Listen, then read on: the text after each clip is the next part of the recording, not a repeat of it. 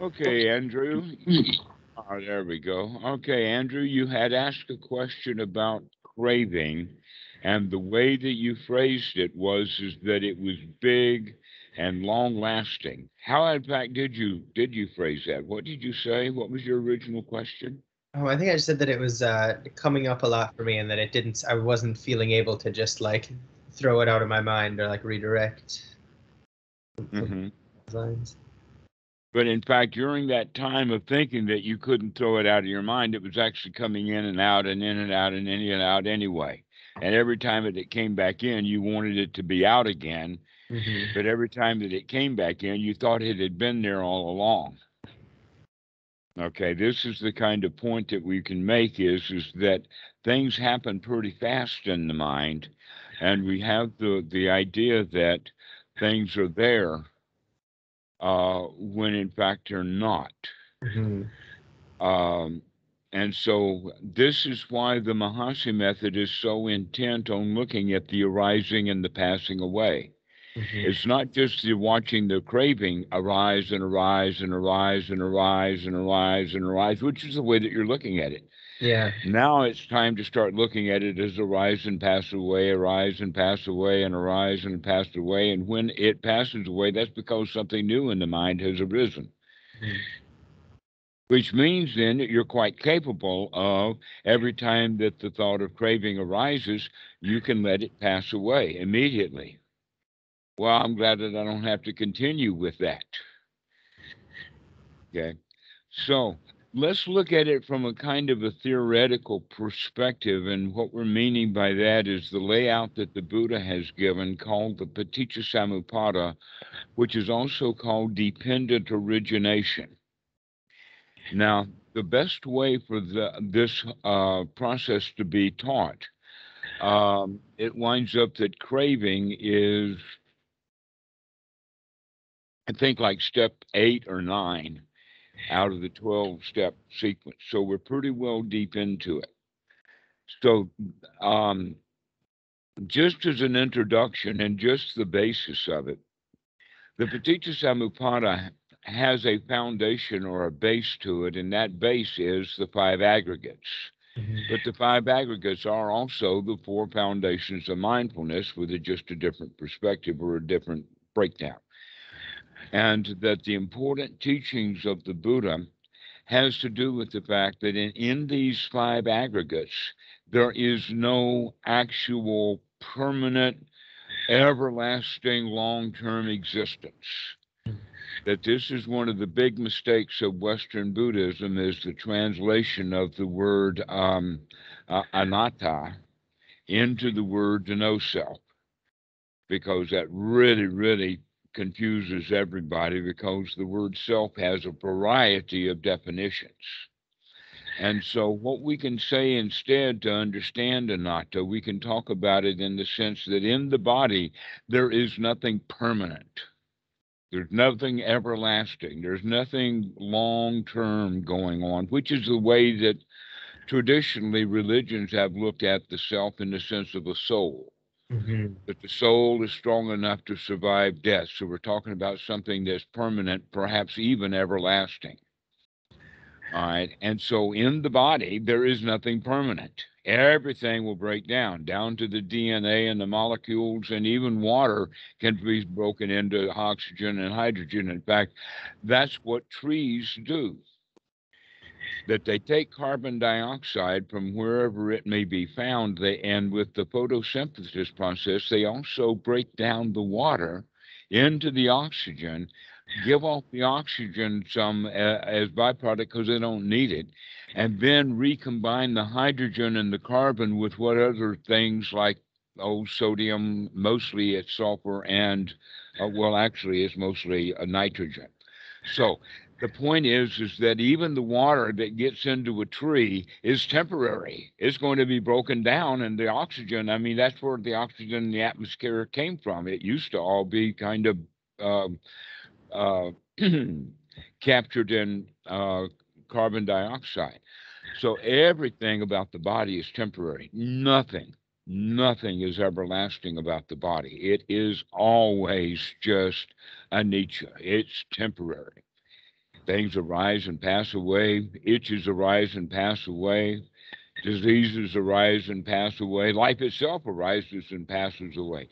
And the breath is our key to that in the sense of watching the rising and the falling of the breath. It arises and passes away also.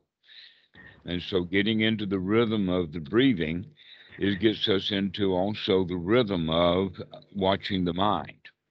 We also know that there is nothing about the way that we feel that's permanent. Sometimes you feel like a nut, sometimes you don't. Sometimes you're pissed off, sometimes you're sad, sometimes you're afraid, sometimes you're joyful, up and down and up and down and up and down. And we think that basically um, there is nothing permanent about it. But when those emotions are managed ignorantly, that means that that, that temporary emotion winds up being the most important thing of the moment. The most important thing of the day is how we feel, that our feelings literally drive us because we're ignorant. Mm-hmm. That's the whole point. We're not watching the fact that these are arising and passing away, these impulses of feelings give rise then to that craving and clinging and longing, and I got to go do it simply because those feelings arose and passed away. But they are temporary. They do just come and go and come and go. Also, um, consciousness is dependent and it is not permanent. A lot of people in many cultures think that it's consciousness itself that's permanent and everlasting. Even Christianity has that kind of view as contraposed to, say, the Muslims who have the idea that it's going to be this physical body that is actually resurrected. Mm. And so, if you can scatter the body parts of your enemy all over the place, then he's unlikely for him to be able to be reborn because he can't get all those body parts together again. Mm-hmm. This is some of the old stories. Okay, so we the Christians know that I am not the body. The body has died, and but they do have the idea that it's their consciousness that goes to heaven, mm-hmm. or it's the consciousness that goes to hell. To where the whole teaching of the Buddha is no, consciousness is not permanent either. But in fact, it's quite temporary. It, I mean, your consciousness goes away when you go to sleep at night. Most of the time, consciousness goes away about a second or so before an automobile accident. That will go will go blind. It you know will will freeze. Mm-hmm. That the, the startle reaction. He comes in front of me and I don't know what to do, and so I hit him instead. Okay, there that's loss of consciousness. Many times, in fact, we lose consciousness of the sensory awareness when we're lost in the consciousness of the mind. Mm-hmm.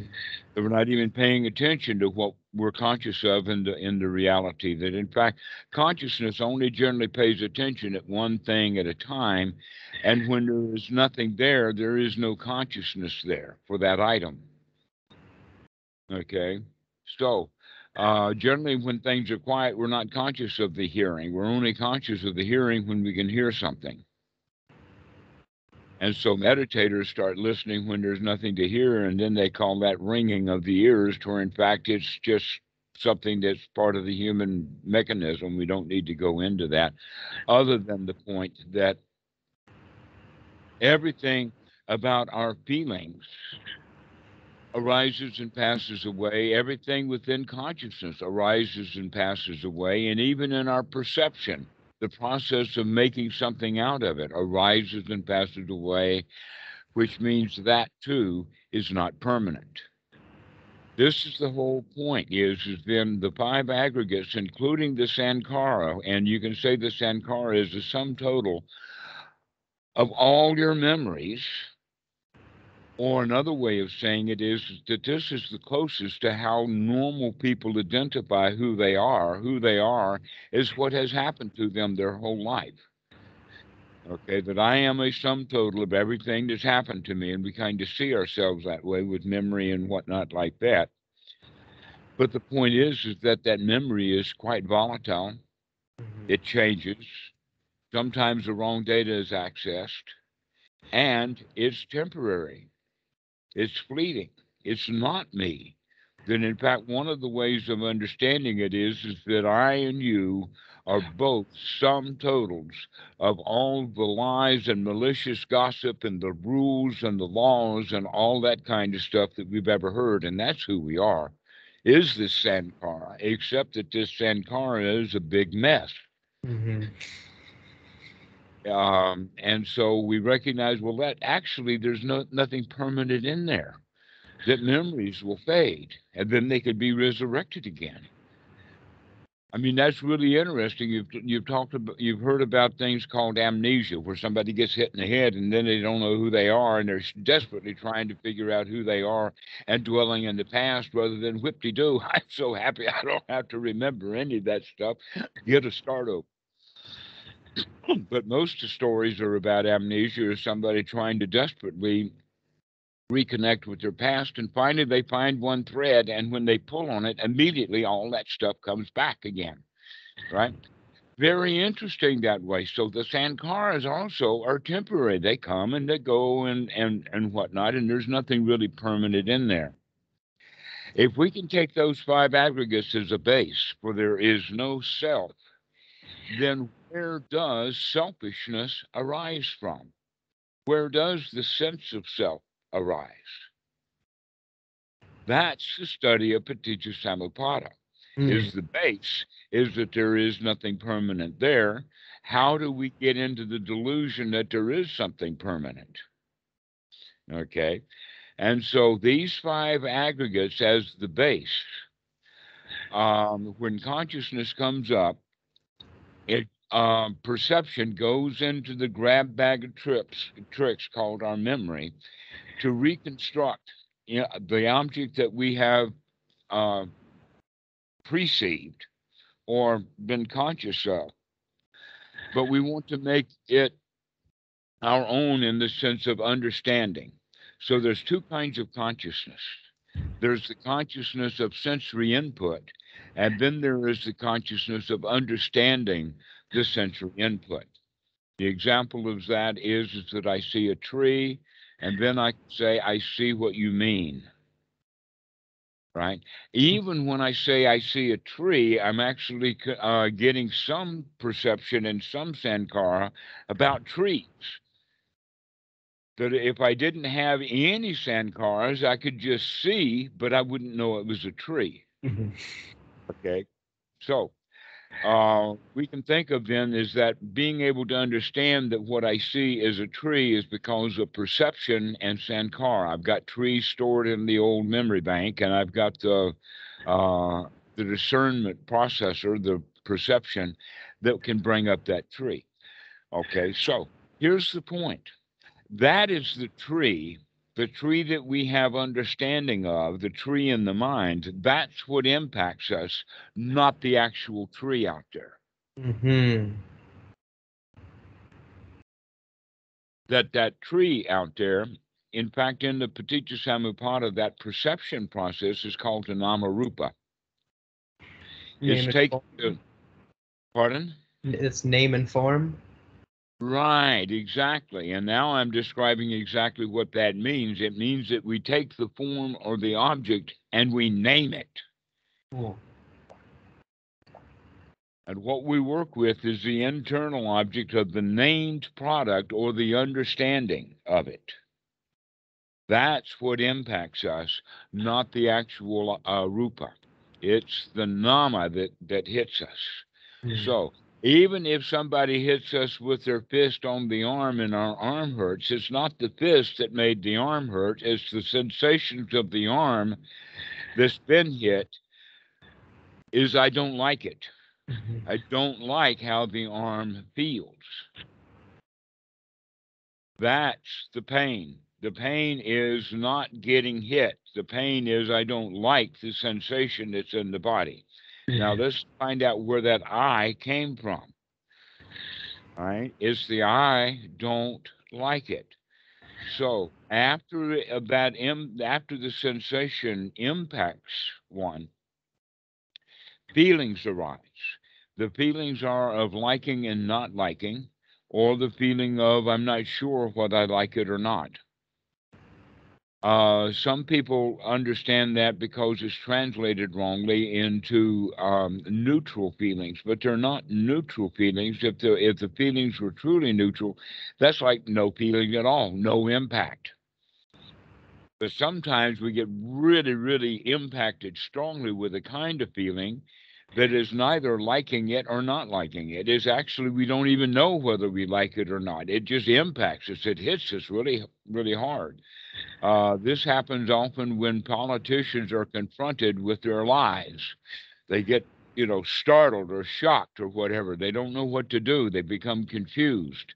They don't know what's going on because they thought that this was an interview, you see. And so now all of a sudden they don't like it.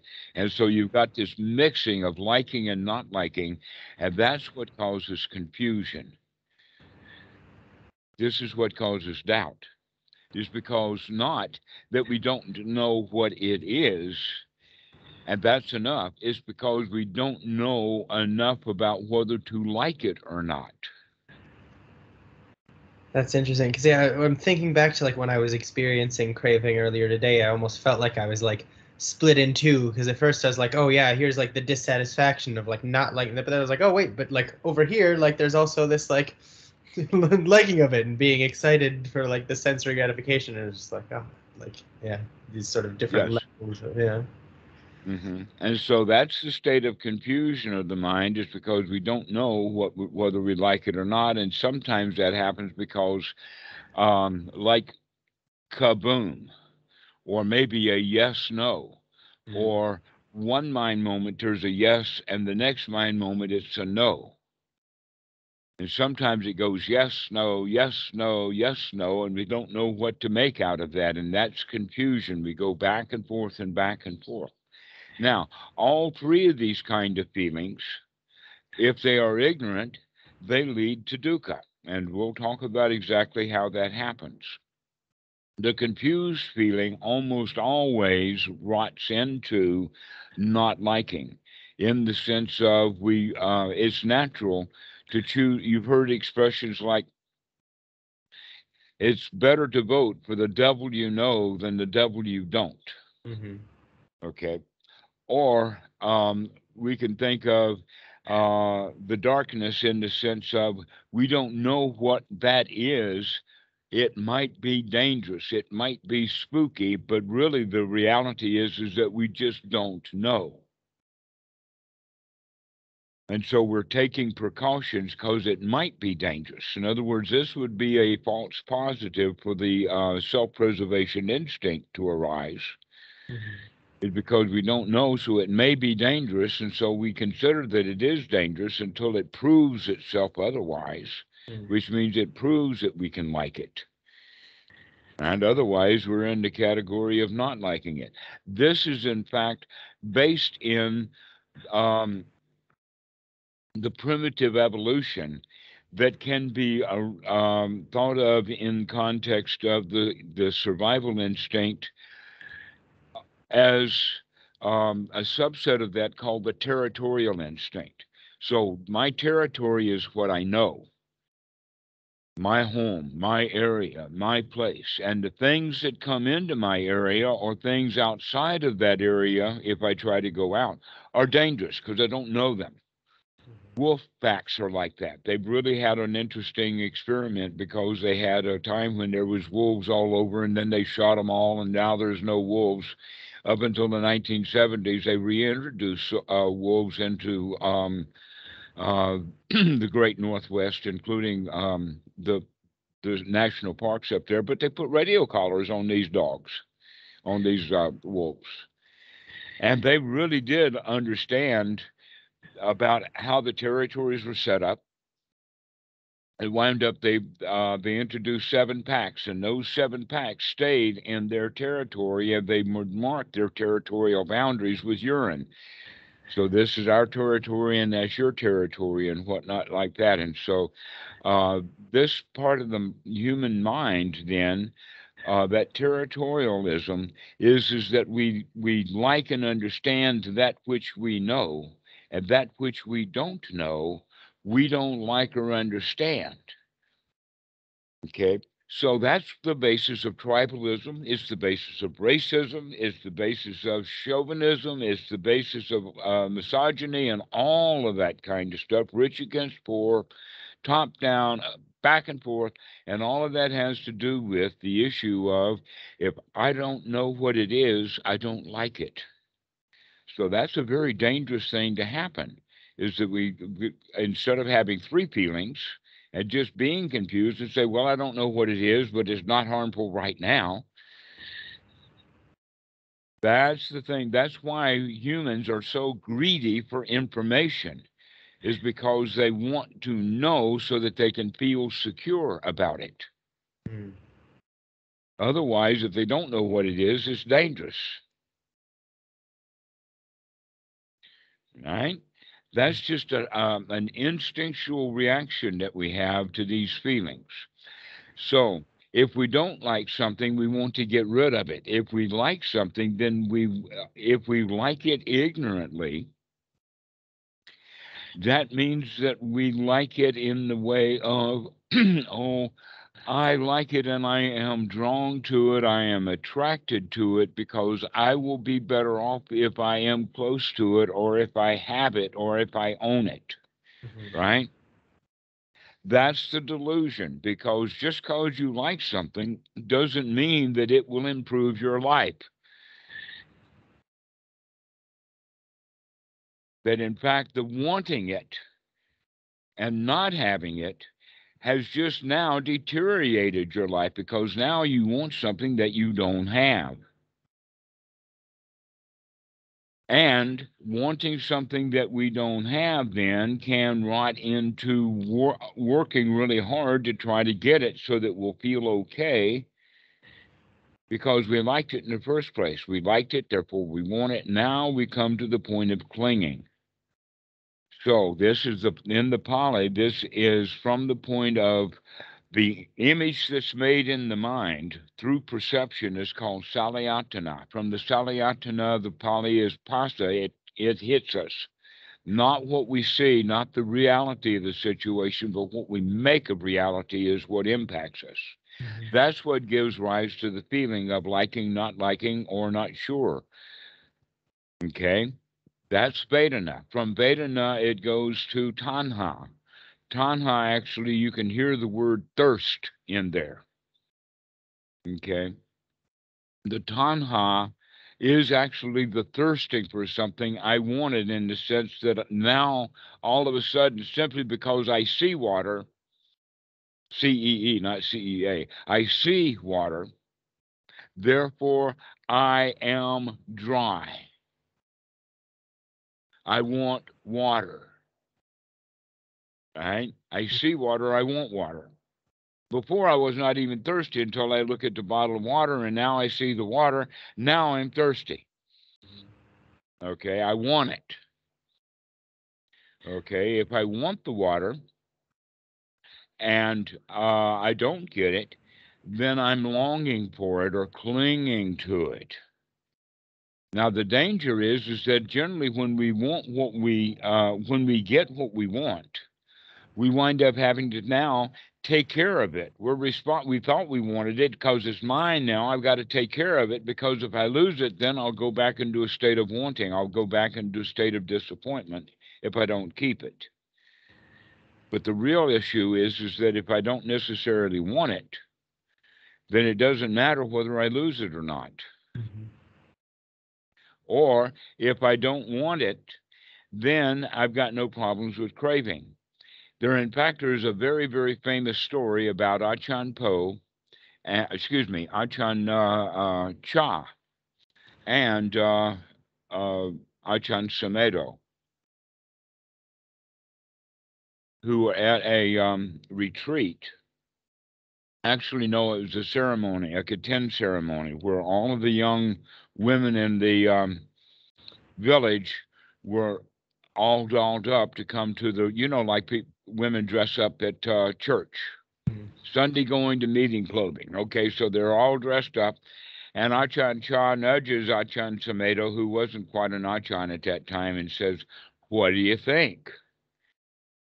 And Ajahn Sumedho being right um, up on Bhikkhu Buddhadasa, he knew exactly what to say. He says, I like it, but I don't want it. Hmm. This is an amazing statement for you to understand that yes, there's all kinds of delightful, beautiful things out there that the mind can see. If you can be sharp enough so that you can recognize that you do, in fact, like something, but that you don't want it enough to bother to do anything about it.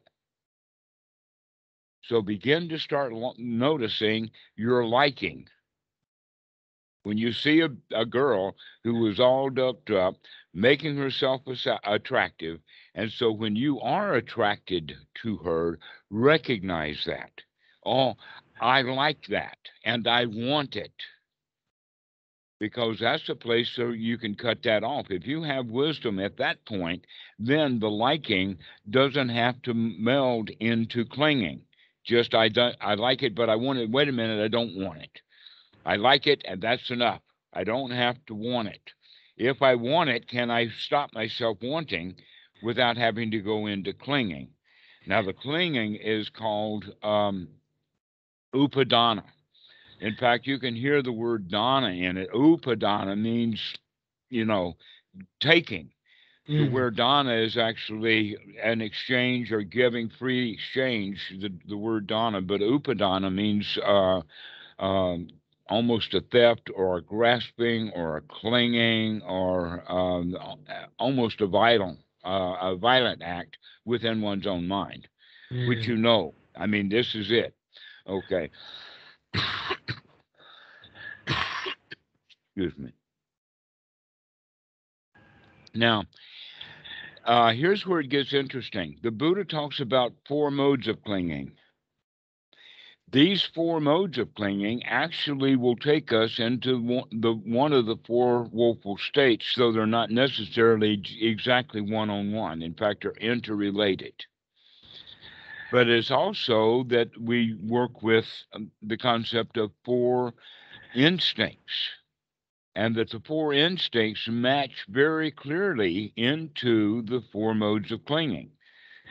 I was it was like yippee ki ki when I first discovered that. This was when I was in uh, in Wadden in in in Greensboro, North Carolina, and I just walked away, walked around on cloud nine for days and days to understand this connection between what science understands about the instinctual way of living and the uh,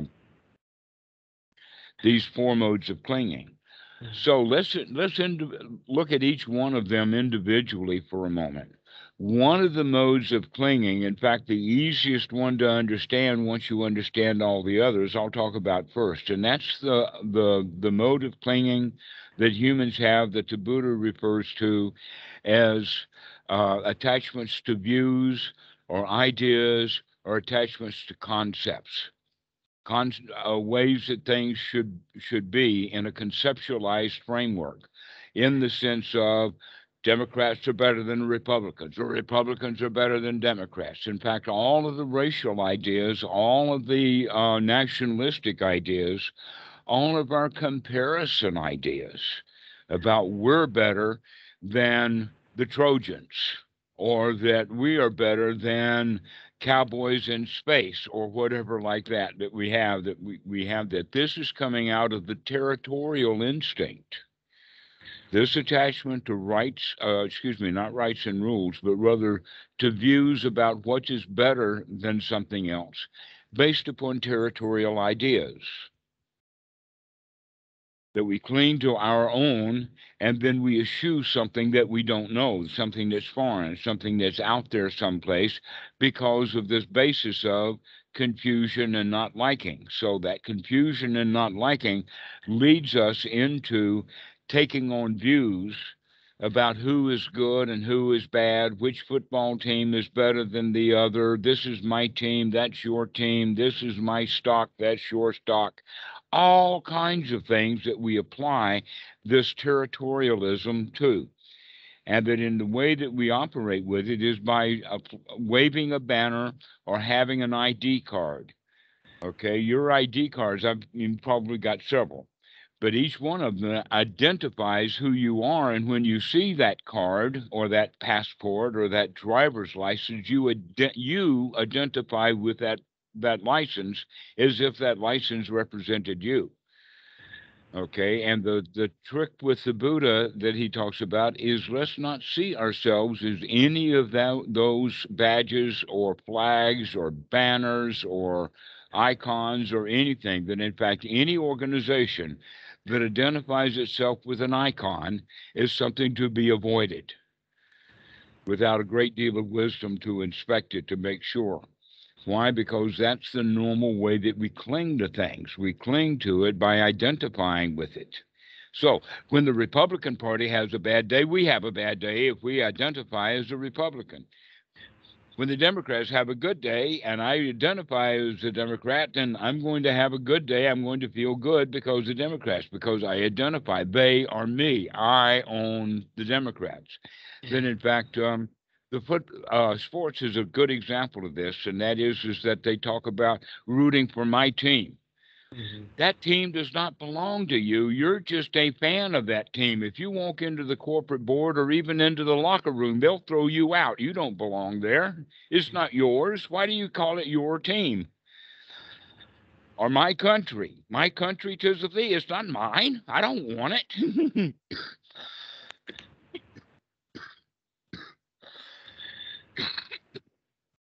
And so we identify with all kinds of things like this. This is one of the modes of clinging. The next one to identify with is what the Buddha calls sila bhatta paramasa, or our clinging to rites, rules, rituals, and the way things that should be done. This is, in fact, what we, these two things together, we could even call the parent ego state. Not not the the instinct itself is not the parent ego state, but what the um, the instinct does uh, in in our uh, nesting instinct is that we collect the knowledge that we need to be safe in the nest. This is why every child listens to his parents and does or rebels against whatever he's told, but he does remember. Over and over and over and over again, this stuff is, is fed to the child, and we pile it into that Sankara bucket, only to be then barked back out instinctually through this nesting instinct to go along to get along. Okay. The third instinct is the instinct of materialism, or actually, is called the procreation instinct, and that most Westerners, because of Christianity, get really oversexed here. And and but we can understand procreation is not just making babies it's making any and everything. The first stone axe in fact. That the guy who uh, in fact the way that we can think of it is is that somewhere along the line some primitive decided that he was going to use this stone because he just picked it up there to open this carcass bone so that we can get the marrow out but then something remarkable happened. He just didn't set that stone down. He carried around because this particular stone was very good at the job. Now we know that using stone tools are something that even otters will do. The otters will go down to the bottom and get a clam and get a stone, come up and surface on this and and lay on their back so that they can take that rock and open that clam. But as soon as they get the clam open, they're only interested in the clam and they let the drop water, uh, the rock drop back to the bottom of the water, right? The major difference was the human kept that stone. Mm-hmm. He carried it around. He thought that it was useful and handy. That even monkeys will use um, reeds and things to get grubs out of out of holes. Get the reed in so that the grub will eat on the reed, and then you jerk it out, bringing the grub with you. As soon as you got that, you're interested in the grub. You're no longer interested in reed. Out the reed goes. But humans have become attached to material possessions. And so we could look at that as your grand total of materialism. Just look around at all the material things that are there that you have collected that you think are have an identity of who you are. Who you are is what you own. Who you are is what you possess. If you get something new, you want to go show it off. This is who I am. I've got something new. The joke is, is when Uncle goes gets a new car, he goes all over town showing his new car to all of his friends and relatives. He takes it to church and all of that kind of stuff because he wants to show it off. Look at me now. I have a new car. I am different. The material possession made me different. This is one of the modes of clinging.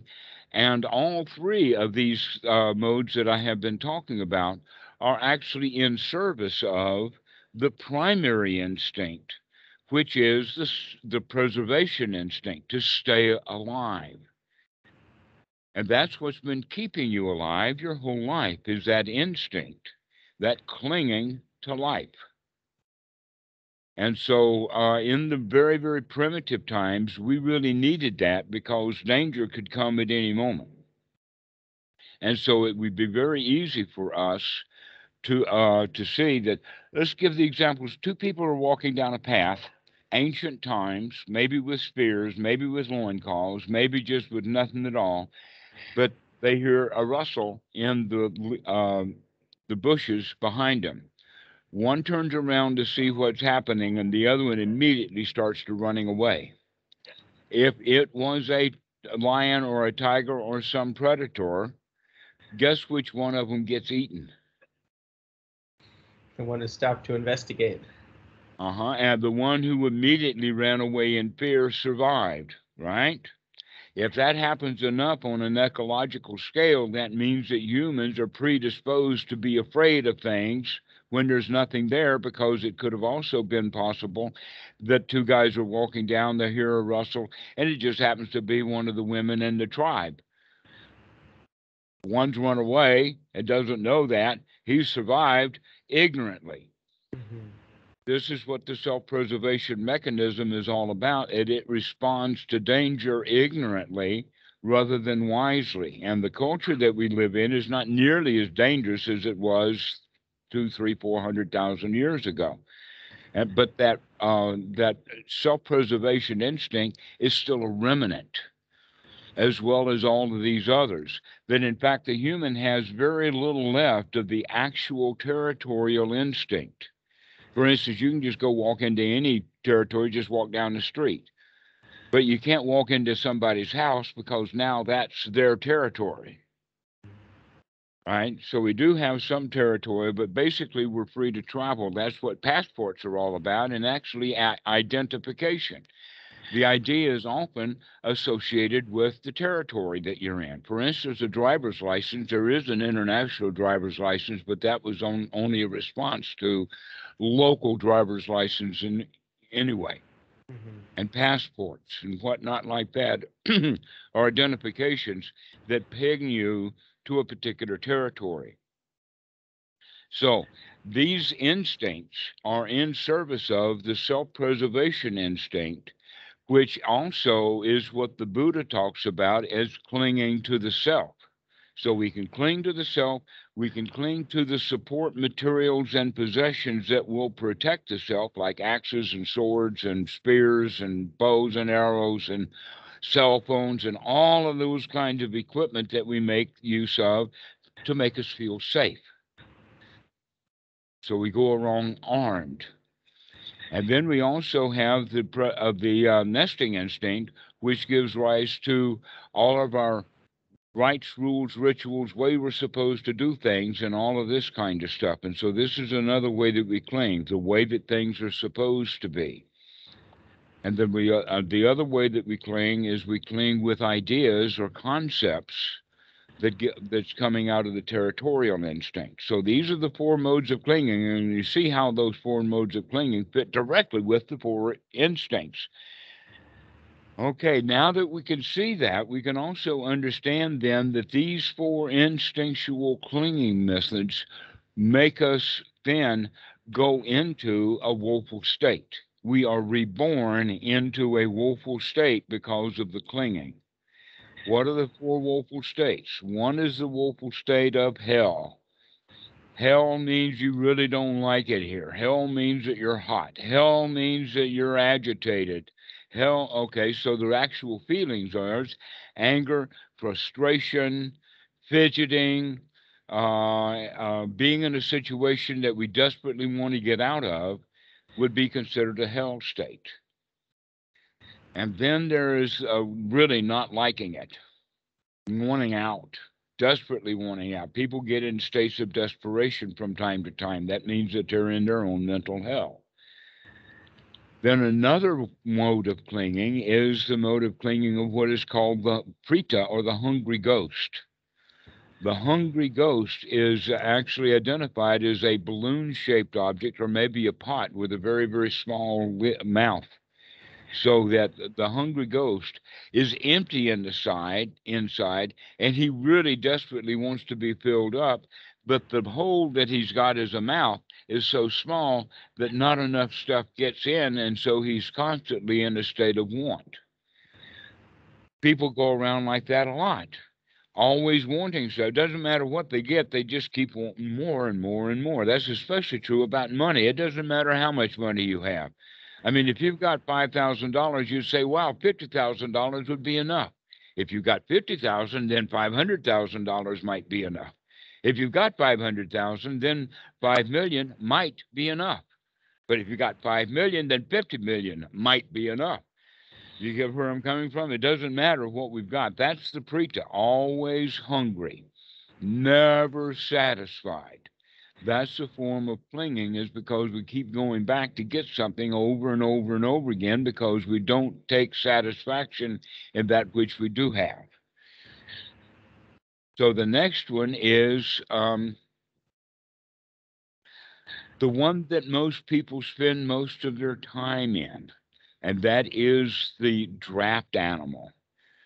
And the draft animal is really caused by the nesting instinct, in the sense that if you don't go along to get along, you're going to get taken out. So, an example of that is the horse that's in his own pasture. He really enjoys all the groceries that he can find with all these succulent plants and everything all over his pasture. And the farmer comes in, straps the horse with a plow, and makes the horse plow his own field. And so now that the field is, is plowed, the farmer plants what he wants to eat, and the horse is left with nothing but hay.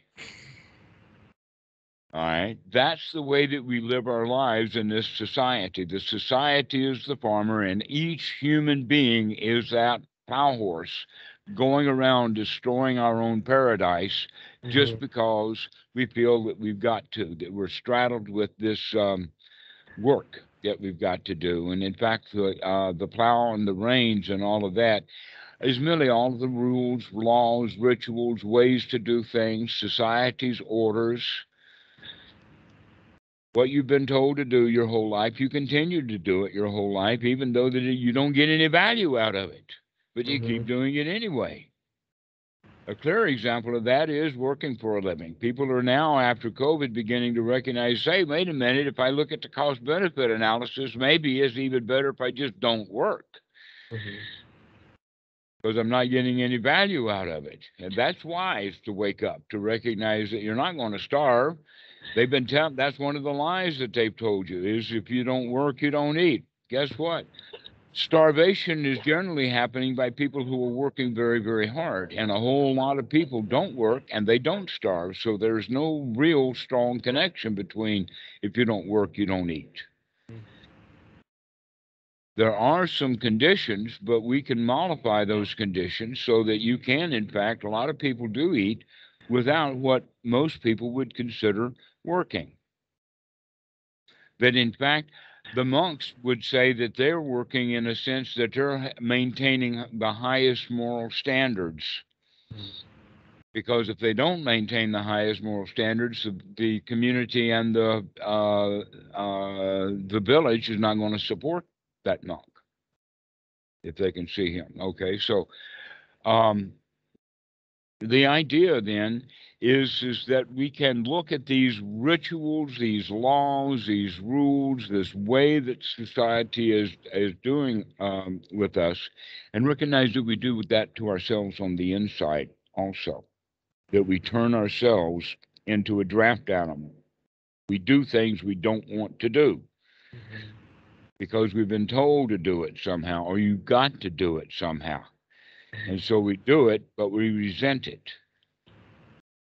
the wiser thing to do would be knowing all of this stuff that we can choose more carefully that which we're going to do and that which we do choose to do we're going to do it happily because it's our choice to do it based upon dukkha dukkha nirodha so an example of that is is that if i don't want to go to the visa office to get the visa renewed and i don't go then I'm going to cause big trouble to the police. They're going to cause, they're going to start looking for me, you know, all of that kind of stuff. I'm going to cause a lot of trouble, and trouble is going to eventually find me. Knowing that wisely, I can go and get the visa that I need to do. Now I have the choice of I'm going to go get it and being unhappy and grumpy, or can I go do it and be happy and joyful and friendly with the people at the visa office? My choice there. Okay, so this is what we're talking about is is that we normally go around doing things in drudgery because we don't like to do them. And so we choose to do them and choose to feel bad. We can, in fact, choose to do it or not do it and choose to feel bad or to not feel bad. I would choose to wisely to do what I'm going to do and then feel good about that and then feel good about the stuff that I'm not going to do. But this is the woeful state of the animal world that is very famous in, in Thai. But most Western Buddhists, they think, oh, I'm going to be reborn as a worm, or I'm going to be reborn as a, you know, something weird, or maybe a mosquito. Other people think I'm going to be born as a flying falcon or giant lion or something like that but that's not the the that's much more of a child's or um, a magical way of of looking at it mm-hmm. normally the real way of looking at it or the one that's valuable here is to recognize that we are reborn as a dumb animal when we're doing things that we're told to do and we don't like it mm-hmm. All right, and then the fourth one on the uh, the list is the Asuras, or the uh, let us say the heavenly warriors that are all dressed up for battle, but they've got no battle to go to, or more specifically, because they're afraid to go into battle. This is where we see fr- stage fright, or we see resistance or reluctance. We also see it in the sense of procrastination, and then we can also see that these things are interrelated that the nesting instinct and the territorial instinct go together. How do they go together? Because there's only merely just a separation or a boundary between the two in the sense of this is my territory and that's not my territory. So that's a mental state. But other than that, the territorial instinct and the nesting instinct are really almost the same thing. Mm-hmm. But then you can say that even the nest is kind of a material object also. Mm-hmm. Okay, so these instincts are all tightly bound to each other, just like the four modes of clinging are tightly bound to each other, and so all the woeful states are bound to each other. And these woeful states that we are born into is now the dukkha. Okay, so this is how it goes from uh, uh, Phassa, or actually we started with Salayatana, Phassa, Vedana, Tanha, Upadana, now we're going into hell, and mm-hmm. that is the bhava, and then roasting in hell of our own mind, and that's the jati. I have now been reborn, and I am now angry. Mm-hmm. I'm an angry uh, being, or I'm reborn. I'm reborn as a, a frightened um, warrior. I'm reborn as a um, hungry ghost, wanting something that I don't have. All of those four states, the woeful states, are in fact then the suffering itself. But the point is, is that it is me that's suffering because I'm the one in hell. How did that happen? Well, look at it from this way: once the uh, the liking, and then the grasp or the wanting or the uh, the grasping comes, and then the clinging to. Look at the arm here. That as this happens, the clinging requires mentally, in our own way of thinking, a cling or. It's not just that you're clinging, there's something in there that's doing the clinging. Mm. That's the self. And the self is doing the clinging based upon some basic fear or some basic desire. But the desire, if we want something, that means basically that we're afraid to, that we're incomplete without it. Now that I like it, I've got to have it what for me will happen if I don't get that Maserati or that Ferrari. Mm-hmm. That I'll be nothing without it. Right? So it's self preservation instinct then that runs all of these other instincts. And so that's the rise of the self. The rising of the self is when the selfish um, self preservation instinct comes into play ignorantly. This is why ignorance is such an issue within the teachings of the Buddha. It's in the Four Noble Truths, it's in the uh, Second Noble Truth specifically, and it's also one of the fetters, and it's the foundation of Paticca Samuppada. So, this is what we need to do is to have wisdom at the point of contact so that we now can manage the way that we feel. And we can go back and revisit that. So every time that you that something impacts you check out how do you feel about it? That if you like something recognize that you like it. That's okay you like it. But just because you like it doesn't mean that you have to want it. Mm-hmm. Okay or if you don't like it doesn't mean that you have to do something about it in fact one of the things that you can do uh, uh, instead of getting rid of that which you don't like, is to be joyful and satisfied that you're strong enough to not have to do anything about it. Mm-hmm. That it really is nothing at all. There's nothing to it. That I'm strong enough to handle that. So I've got an itch on the leg. Just because the leg itches doesn't mean that I've got to scratch it. I'm a big, tough dude. I can handle a little scratch. Okay, so we can actually then manipulate the way that we feel. We don't have to ignorantly continue into the direction of not uh, liking. We can turn that not liking back into uh, a joyful, wise liking. We can also be mindful when we see a stranger, if we don't know who they are, let's be open to the fact that they could be a good friend rather than automatically taking the position of who the hell are you? What do you want? Why are you here? You know? Instead, we can take the position of, oh, I don't have to assume that territorial instinctual way of if I don't know who it is, it must be dangerous. You can have the position of, I don't know who it is, they're probably going to be a friend.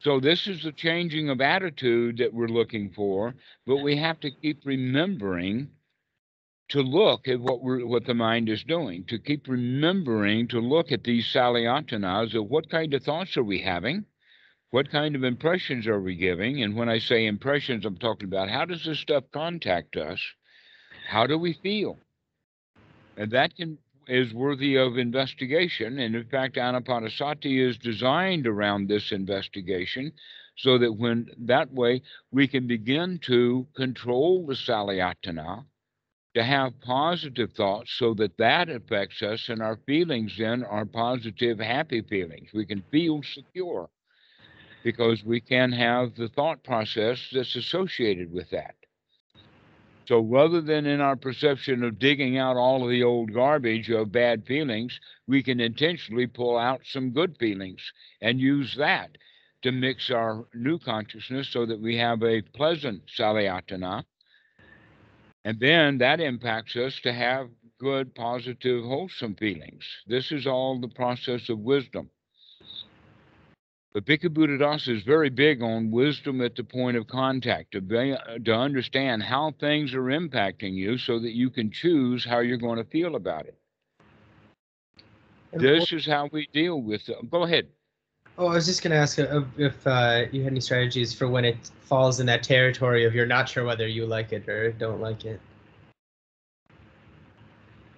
What about? Um, what. I was wondering if you had any any like sort of any like strategies for dealing with it when it's when it falls into that territory of you're not sure if you like it or you dislike it. You can say it's probably not dangerous. There's no reason to think that it's danger. We Mhm. just don't know what it is. Right now, it's not harmful. Mhm. Let's keep investigating. Mhm. That's the answer in almost all cases to keep looking, to keep remembering to look, to keep investigating over and over and over again, to keep investigating, keep looking, keep recognizing that the clinging that is happening, you can actually see that too and let it go. Mhm. But in fact, this process of paticca samuppada is oftentimes very, very quick and repeated over and over and over again. And as it goes down, or as it happens over and over, we get into worse states. Mhm. So that first thought moment is a way of clinging. And we start going around with that. If we continue to do it, it's going to get bigger and bigger. This is what I'm getting at. But when we can catch it when it's really little, aha, I see you. And now that's not who I am. We disidentify with it. Those feelings are not me. Those are not my feelings. They're just feelings. Mhm. So we begin to objectify the feelings rather than make them part of the subject. Look at it from this perspective. Most people, when we talk about anger, will use phrase like, I'm angry, I'm pissed off, Mhm. I'm I'm I'm I'm disgusted, I'm sick and tired of being sick and tired, you know, all of those kind of expressions. And you can see that is the identification with the feelings. I am anger. I'm angry. So when that angry feeling is there, it consumes one and it's the, the self that's angry. That's that's true, except that when we begin to understand it, no, that's not who I am. If anything, I'm the one who can see that anger. And I am not the anger. The anger is merely some bodily chemistry that's happening. Let's take a few deep breaths and slow down. I am not the anger. Okay, disidentify ourselves so we can actually begin to pull ourselves out of that woeful state of being in hell by recognizing that that hell is not who I am. That's not me. But we have to see that and recognize it for what it is.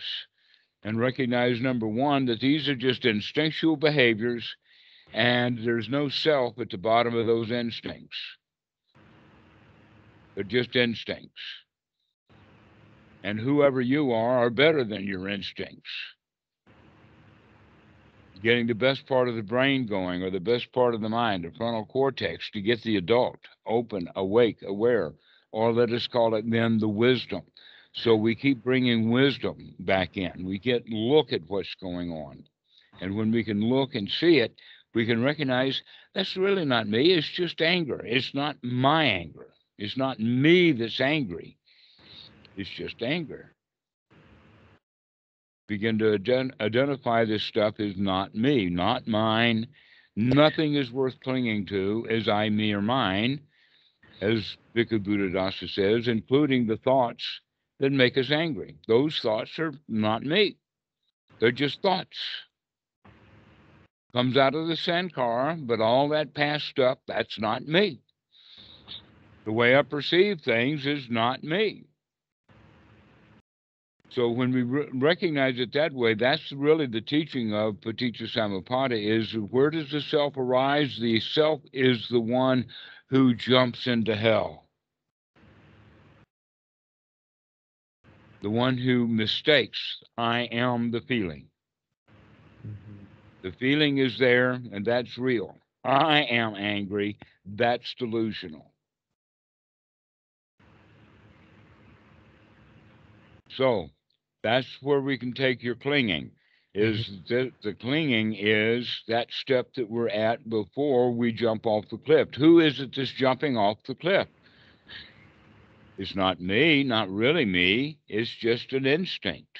Mhm. a false positive of fear, mostly. In fact, you could say that fear is the basis of all of our feelings, in the sense of how much fear is in the mix. If fear is there, then we're going to have feelings like anger, sadness, frustration, anxiety, grief, ill will, remorse, regret, guilt. You've heard all of this list before. If you are in a position to where you're completely free from fear, then you're going to be safe, secure, satisfied, content, have the feeling of success and satisfaction. Your choice. Which side do you want to be on?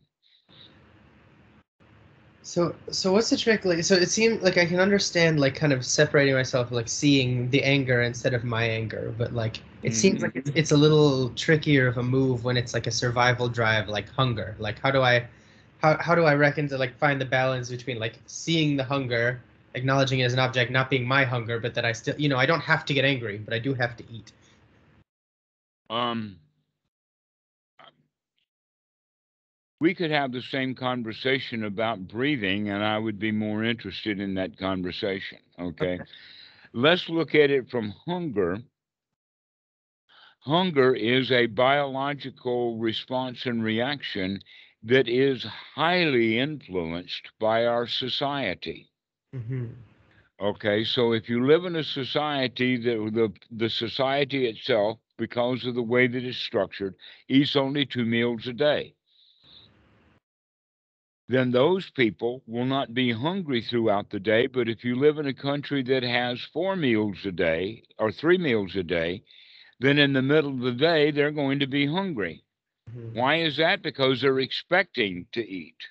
The body expects to eat. It's pre-programmed to eat if if a, a community of people uh, eat four times a day, which is actually quite common, when they wake up in the morning at 4 a.m., they have a meal. When they, then at about eight in the morning, four hours later, they have another meal, and then noon they have lunch, and then they have dinner. So they have four or five meals a day getting used to eating four or five meals a day after a year or two or three of that, and then you uh, come to mealtime, you get hungry, when in fact that's got nothing to do with it. Hmm. It's got to do with the hunger is because of the biological clocks that have been set through the practice and the habits of society. Right. So, the Buddha recommends that we eat just once a day and to deal with that hunger. Now, going back to that point about breathing, you you're going to die in the next 2 to 5 minutes if you don't breathe. But that's not true with hunger. Hunger you can go 30, 40 days. In fact, that's one uh, quite common and still is is that people go on fast. It's been common for people to go on fast in times when there was no food, like in the winter time. That that's why bears, in fact, uh, get really, really robust and fat in the fall so that they can hibernate and not eat during the winter. Mhm. Well, humans have gone long periods of time without eating, also. That's why we have fat storage and other things like this because of that seasonal thing. So basically, hunger is something that most people ignorantly think is not at all programmable. To where, in fact, it's, it is. We've just given several examples of how it's programmed. And so the Buddha says, let's eat just one meal a day because that is what will really help with the um, with hunger. That if you're used to eating one meal a day, then you tend to, um, at least in in the beginning, you you tend to work with the hunger differently. And one of the ways you can work with it differently is by saying, "That's all right. I don't have access to food right now." Uh, at various Wats in the United States, for instance, the monks live in a different house than where the food is. Hmm. And so no monk is going to get up in the middle of the night and go across the Wat just to break into the kitchen. Hmm. All right, it's just not worth the effort. And so we deal with the hunger in the way of I can handle this. Never mind, tomorrow is going to be okay. I'll survive until tomorrow morning and then I'll have something to eat and there's no problem here. So we begin to deal with the hunger in two ways. Rather than, oh, I've got to eat, I feel so hungry, why can't I eat? We change it to, no, I can handle this. I don't have to be uh, filled just because there's the feelings or sensations of hunger. There's another example of that, and that is, is that people who go on a dedicated diet that they really do want to lose weight the way to do that is to by making friends with the hunger. Oh, I'm really glad to see the hunger back again. Why does that? Is because the hunger is is the actual telltale evidence that the body is drawing nourishment now from stored fat, not from the food that you're digesting, because you're not digesting any food. And so there is the feelings of that that we're calling hunger, but it's just more of a feeling of emptiness. Mm-hmm. And that we can actually manage that feeling of emptiness happily. Oh, hello, hunger, my old friend. I'm glad to see you're making me thin again. so it again, it has to do with our attitude about the food. And most people say, "Oh, well, uh, the hunger is part of the self-preservation instinct. If I don't eat, I'm going to die." No, you're not going to die. Not not not right away. Let's yeah. wait until you get down to, let us say, maybe 100 pounds or 120 pounds. Then we can talk about you being in serious danger.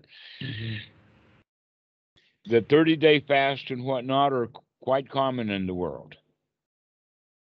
So let's not worry about hunger. Let's make hunger a friend because it can, in fact, be something that we can uh, modify, play with, uh, intentionally skip meals especially if this particular meal is going to be really hard to get, like there's no food in the house, then going out to eat. Why should people go out to eat? Why can't they just stay at home and be hungry? You're not going to die. And in fact, they would probably be better off if they were a little thinner. So, um, this is a way of beginning to understand the bodily sensations are not necessarily our enemies. Mm-hmm. That if a kid, a 14 year old, has broken his arm and his arm is in a cast, he's right handed and his arm is broken right in this area, and every time he tries to move his hand, maybe he plays the trumpet or something like that, he can't play it because the bone hurts what the bone is doing is the bone area here is saying stop doing all of that activity. We're trying to heal here. And if the boy will leave the hand alone and pay attention to this pain and notice that that pain is actually not just pain that he doesn't like and tries to get rid of while he's doing what he wants to do, he should see that that pain is actually a signal saying, we need to rest. And so we can begin to pay attention to the sensations of the body in a much more, let us call it natural way, that they're giving us a message. And that the human mind is capable of ignoring those messages for, as great damage. So we should listen to the body and become alert to what the body has to say. Yeah, it's it's just confusing that it's like sometimes it's like, oh yeah, pain like pain is sending a message of like don't do that and we should listen to it but then like when you talked about a mosquito bite before like it's sending the message to scratch but we shouldn't do then in that case we don't want to listen to it that's because we need to listen to it wisely rather than just instinctually mm-hmm. that's the development of the wisdom is to recognize that yes binding an arm and splinting the arm uh, is very good medicine but going along and holding the arm and not doing anything to actually repair the arm while you're trying, and then the, the arm will get really messed up, mm-hmm. right? The same way with mosquito bites.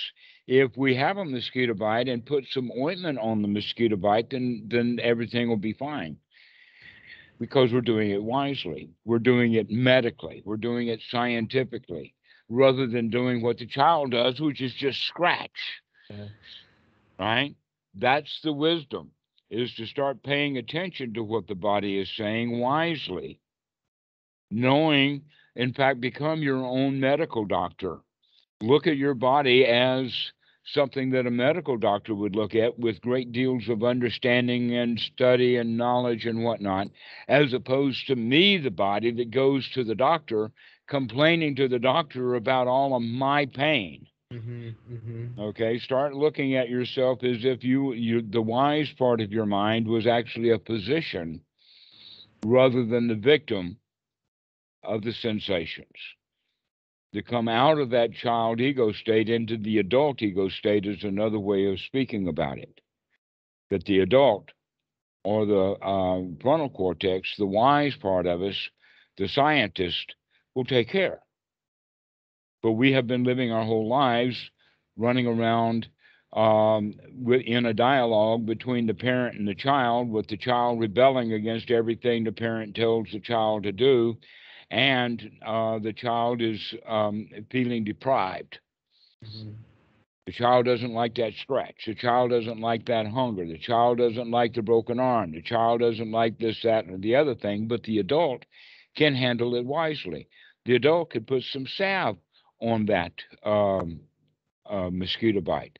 The, the the wise part of the mind can splint that arm the wise part of the mind can say, now is not the time to eat. This is not the right time. Let's not put a lot of effort into worrying about eating because right now is not the right time. Mm-hmm. So, this is the way that we can begin to handle that is actually by changing the ego state that we're in, which actually means to wake up the frontal cortex to see how we create things, to see how we feel, to see how that feeling leads to longing and wanting, and how that longing turns into clinging, and how the clinging itself roasts us in hell. Mm-hmm. That's the paticca samuppada of the Buddha. And we can fix that by finding it any particular place. In other words, if you're already in hell, get yourself out of it. If you're at the point of clinging, stop clinging. If you're at the point of wanting, recognize that you that you like it but you don't want it. And then you can back up a little bit further so that you begin to control how you feel about things. So you can choose wisely how you feel. Mm-hmm. There's even further steps, but that's a good one to to uh, to get practiced at. Yeah. Wisdom at the point of contact so that you know how you feel and you know that you can control how you feel and and when it seems like it's permanent to like pay attention to the the passing away and the next mind moment arising yes exactly look at the arising and the passing away and the arising and the passing away knowing that you can actually begin to feed the mind wholesome thoughts yeah to begin to change the way that you feel is that that is that that perception salayatana, um, or actually perception and sankhara salayatana is the feeling uh, source. That's the thought. We have that thought. The thought impacts us. We feel. Mm-hmm. Thought, impact, feel. Thought, impact, feel. Thought, impact, feel. That whole little sequence over and over again. And we basically have a thought that then gives us a feeling of anxiety. Then we have the uh, the feeling I don't like anxiety, which is another thought that gives us more anxiety. And so we actually pump ourselves up, or a better way of saying it is pump ourselves down by doing it over and over and over again. That repetition of giving ourselves unwholesome thoughts to think. Yeah. And so we can begin to modify even the uh, Sankhara so that we start feeding the perception machine more wholesome input for it to process the uh, uh, consciousness through. So, yes, we can. We can change. We can change at each one of these steps along the way. This is why it's called Paticca Samuppada dependent origination. You can see that upon the eye contact, consciousness that generates nama rupa or perception that gets the sankhara to make a salayatana, and that is what we perceive, or that's what we uh, that's the thought, the salayatana, the internal representation is what impacts us. So two guys can stand on a street corner and they can see a third person across the street coming in their direction, and each one of them has a completely different reaction to this guy or the someone coming based upon the way that they're dressed and based upon prior knowledge. So let's give uh, an example that the person who is coming across this, from down the street is now seen to be wearing a nun's habit from the Catholic Church. Mhm. One of them is a Catholic. The other one was raised in Catholic school. Difference, and they're certainly going to have a different reaction to the uh, to that nun's habit, and they have no clue about the human being that's in the habit. Mhm. She could be in a Halloween costume. You don't know anything, but Right. we naturally assume things because of dress. Okay, here's another example. Somebody comes down the street and two guys are looking, and this guy is dressed in an SS uniform. Two different reactions. One of them happens to have been a German, the other one happens to be a Jew. They're going to have different reactions. Why? Based upon their past. So it's not the presentation present presenting data. It's our past that filters and um, uh, processes that data into feelings. That that nun's habit or that ss uniform itself and in and of itself doesn't cause any particular feeling. It depends upon the sankhara or the past of the observer so this is literally the description of beauty is in the eye of the beholder.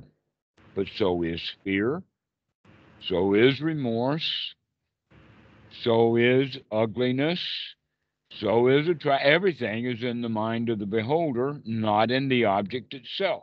Mm-hmm.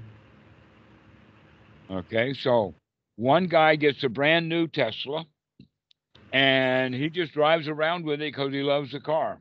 The other gets a brand new Tesla and he goes around the car with a microscope or a, uh, a magnifying glass looking for every defect in the car. Who is going to have the more joy and the more fun? the first guy. Yeah, exactly. This is the point that we're making is is that the beauty that we receive is actually coming out of our past experiences and our identifications of who we think we are.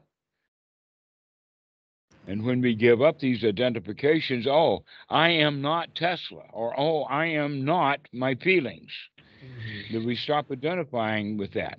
So another way of saying it is is that this is all a teaching of about anatta in the sense of figuring out who we are not. But most Westerners will come to the conclusion of, oh, that means that I'm going to then figure out who I am. sure.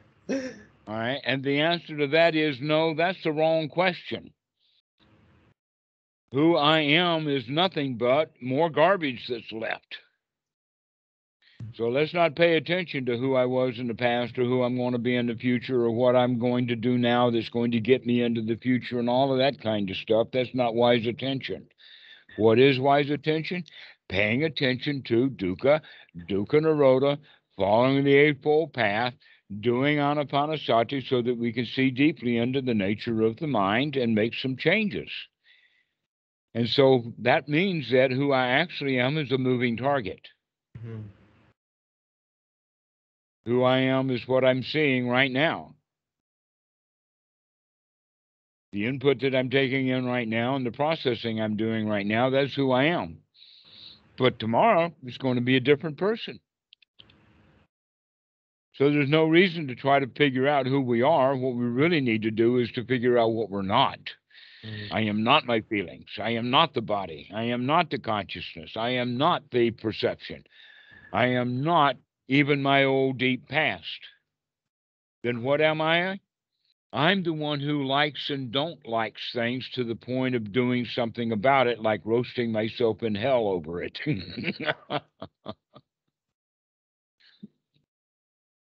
That's where the self comes from. It comes from the clinging. And so it's good that you're really on to this issue of the clinging. So you can back it up now to the point of, well, the clinging comes from the wanting. Can I back it up even to the further of recognize all the clinging and the wanting comes from the liking and the not liking?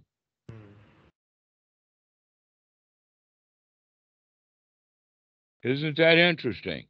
That's back to the feelings. Exactly. So this is how you deal with the the uh, the craving is when you see a craving thought, recognizing or the craving feeling, and the association of that. Recognize that comes from a thought, and that seeing the craving is yet another thought, and then saying, "Wow, I'm so glad I can see that craving," is yet another thought and then relaxing, Wow, I'm glad I don't have to crave. That's another thought. And so this is the process that we're going through is over and over again is to check that craving, recognize that that's coming out of a particular feeling that's ignorant, and we can take control over that feeling. We can feel the way we want to feel. Taking control of the like breaking the chain of like habitual relating and taking control of the flow of thoughts, you can move it in a joyful and positive uh, direction. Absolutely. Excellent. I think you're beginning to get it. So this is how we're practicing anapanasati is to understand how to actually manipulate the mind out of the bad feelings that lead us into hell or into doing dumb work uh, like becoming a stupid animal doing what we're told to do and getting no benefit out of it and that's where people find employment because people really don't get great benefit out of the paycheck once a month. They're looking for more and they never get any more. Mm-hmm. They're looking for, for satisfaction or fulfillment, and all they get is a pink slip. Yeah. and so that's the dumb animal. Let's see those kinds of clingings and and um, uh, these woeful states that we wind up in so that we can back it up and recognize that, oh, it's because of the feelings that I have were, uh, were they were caused by being impacted by thoughts and and things that we had concocted in the mind. But that only takes like a tenth of a second, just one mind moment to dream up something, and then we're completely terrified. Mm-hmm. It takes a child only an instant to say, Oh, there's a bear in the closet in his mind, and then he has the words and the fear of, Oh, there's a bear in the closet to follow. And so when we recognize, Oh, I have just have a thought there's a bear in the closet. Guess what? There's no bears in the closet. If you don't believe it, let's go check. Let's go figure that out. Let's go have a game of bear, bear, where's the bear? Because there's no bears there. The only bear that's in the mind, that's the bear. And that's the, the Salayatana. That's that place where we concoct these uh, fearful images. So that's how you can back that stuff up. You can come from the clinging back to the tanha, back to the gra- grasping, or back to the wanting, back then to the feeling, back through the contact into the actual thing that created this, which was the unwholesome thought that we had.